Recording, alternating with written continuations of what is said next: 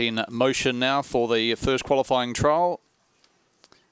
Away racing, blitzing Blarney went straight to the inside, jumps on the arm as they start to travel down the back straight. They go through the first split in 6.67. So blitzing Barney has gone a miss going off the back and uh, looks like he's, uh, yep, gone a miss. So the lure will slow down.